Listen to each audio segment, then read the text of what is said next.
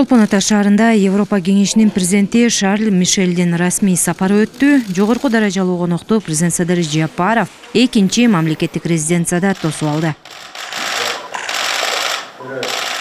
Өз сөзүндө президент садыр жапаров кыргызстан менен европа биримдигинин ортосундагы алакасын бекемдөөдөгү жаңы этап башталганын белгиледи. Өлкө башчы кыргызстандын туруктуулукка өнүгүүгө жана демократияга карай жолунда баа жеткис колдоосу жана жардамы үчүн европа биримдигине ыраазычылыгын айтты.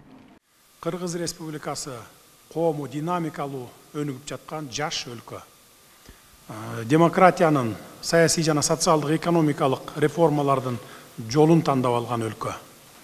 Биз демократиялык институттарды чыңдоо мыйзам үстөмдүгүн илгерилетүү жана адам укуктарын коргоо жаатында олуттуу ийгиликтерге жетиштик десек болот. Бирок биз жеңе турган кыйынчылыктар бар экенин түшүнөбүз жана эл аралык өнөктөштөрүбүздүн колдоосу менен аларды жеңүүгө чечкиндүүбүз. Европа бирлиги менен өнөктөштүгүбүз жалпы баалуулуктарга жалпы максаттарга жана өз ара урматтоого негизделген. Кыргызстан европа менен кызматташуудагы артыкчылыктуу багыттарынын бири бул экономика. Мында евро бирликтин тажрыйбасы инвестициялары жана техникалык жардамынын ролу зор. Биздин кызматташтыгыбыздын негизги багыттарынын бири болуп экономиканы өнүктүрүү саналат.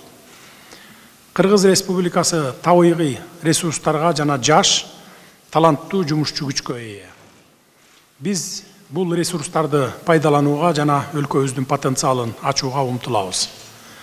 Евро бирлигинин тажрыйбасы инвестициялары жана техникалык жардамы экономикабызды диверсификациялоо жеке секторду өнүктүрүү жана туруктуу жумуш орундарын түзүү боюнча аракеттеринин колдоосу маанилүү ролду ойноду. Кыргыз республикасы стратегиялык жактан европа менен азиянын кесилишинде жайгашкан жана биз туруктуулукту гүлдөп өнүгүүнү жана тынчтыкты камсыз кылуу үчүн аймактык кызматташтыкты чыңдоонун маанилүүлүгүнө терең ишенебиз европа биримдиги кыргызстан менен баардык тармактарда кызматташууга даяр. Айрыкча гидроэлектроэнергия энергиянын кайра жаралуучу булактары жаатындагы тармактарда иш алып барууга кириптер экенин шарль мишель айтты.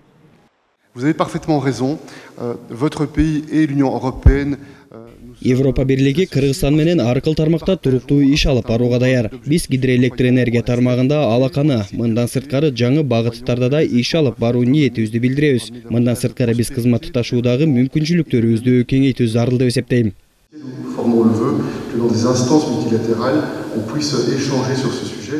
менин оюмча кол коюуну күтүп жаткан кеңейтилген өнөктөштүк жана кызматташтык жөнүндө макулдашуу башкы ролду ойношу керек.